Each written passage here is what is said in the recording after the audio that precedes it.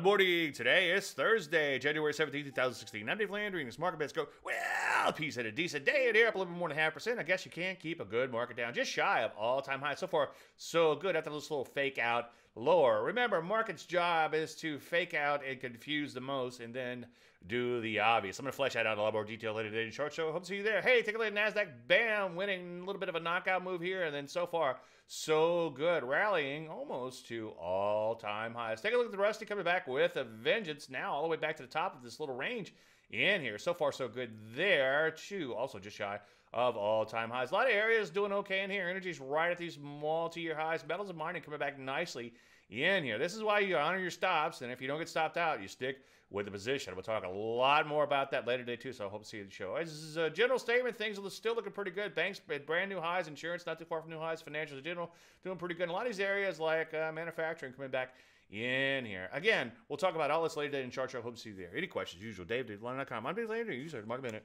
Whew.